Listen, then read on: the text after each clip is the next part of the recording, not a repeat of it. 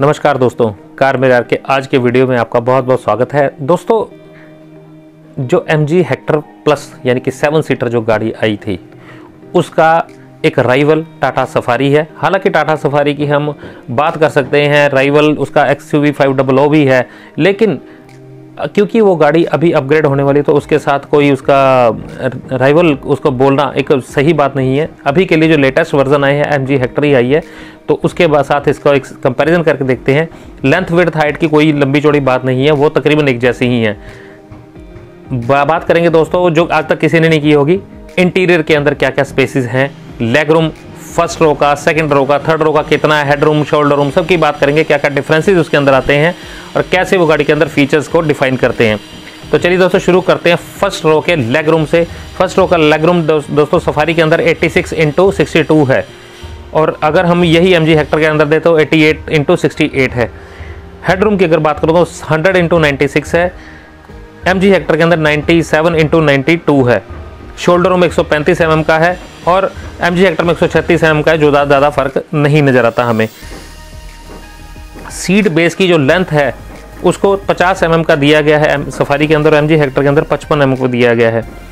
Back rest की जो height है, उसको 62 एम mm है। सफारी के अंदर और हेक्टर के अंदर भी वो सेम है।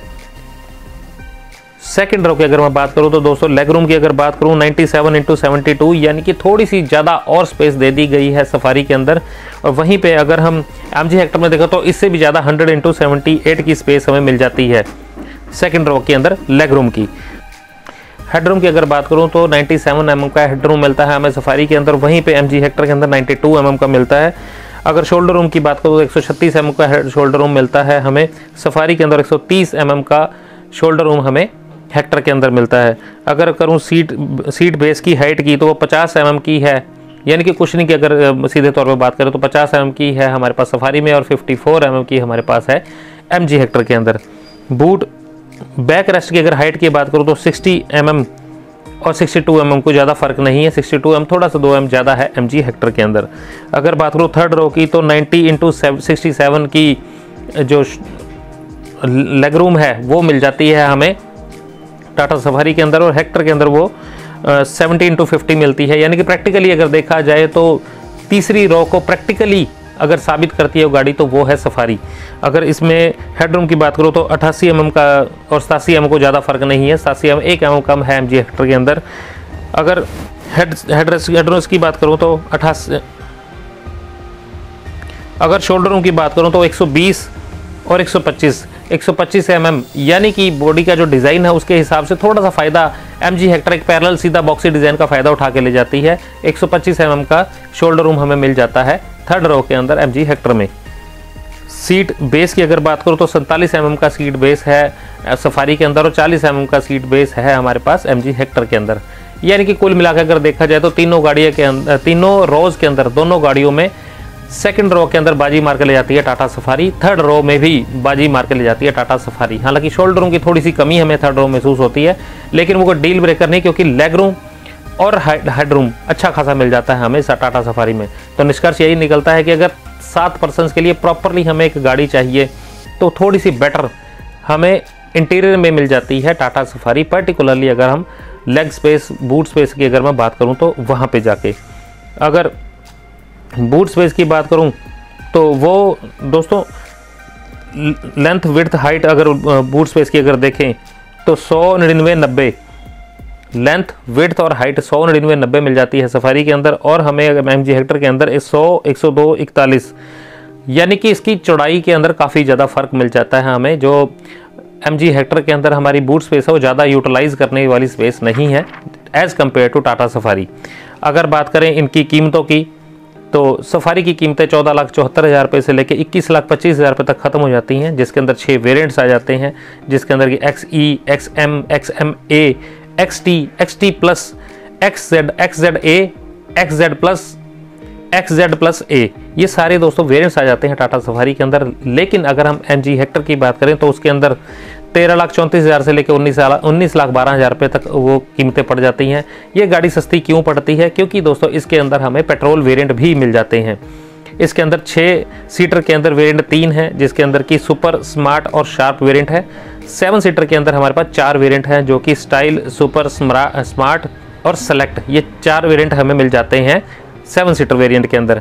अब सफारी के पास सिर्फ़ और सिर्फ़ एक 2.0 लीटर का इंजन है, जिसके अंदर की 170 पीएस की पावर 350 एनएम की टॉक के साथ मिलती है, जिसमें सिक्स स्पीड का मैनुअल ट्रांसमिशन और सिक्स स्पीड का ही ऑटोमेटिक ट्रांसमिशन हमें मिल जाता है।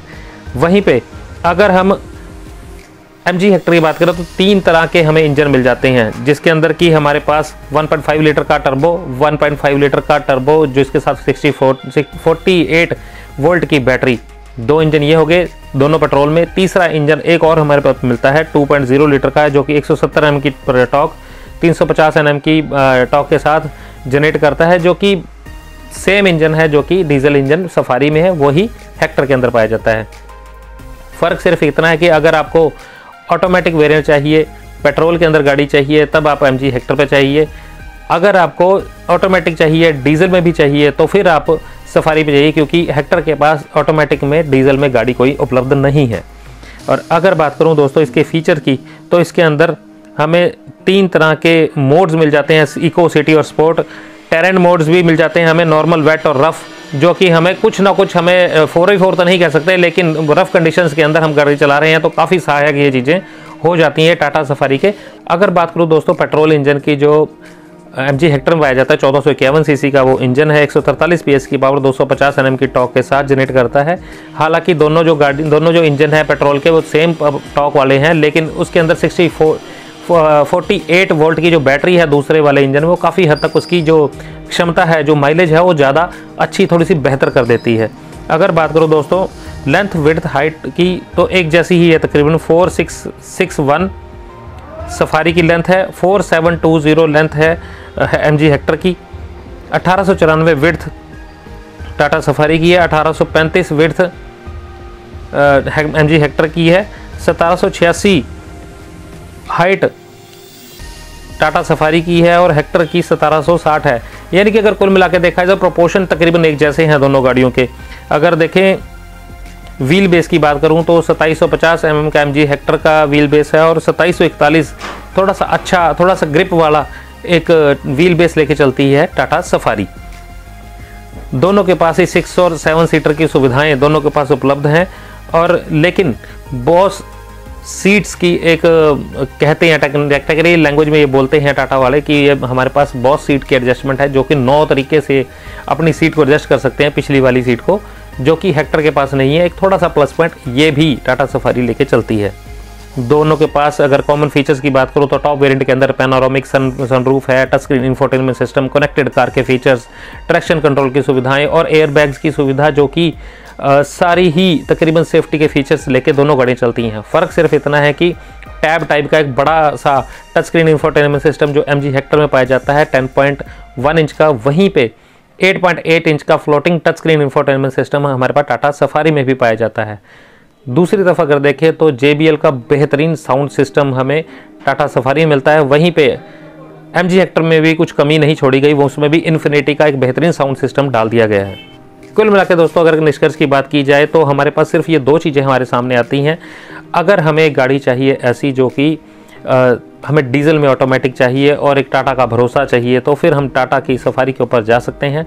आइधर एक नई टेक्नोलॉजी की कनेक्टेड कार के फीचर्स की थोड़ा अच्छे से लुक वाली गाड़ी चाहिए, जिसके अंदर की पेट्रोल की सुविधा भी हमें मिल जाए, जिसके अंदर की पेट्रोल के अंदर हाइब्रिड की सुविधा या हमारे पास पेट्रोल के अंदर ही ऑटोमेटिक की सुविधा भी हमें मिले।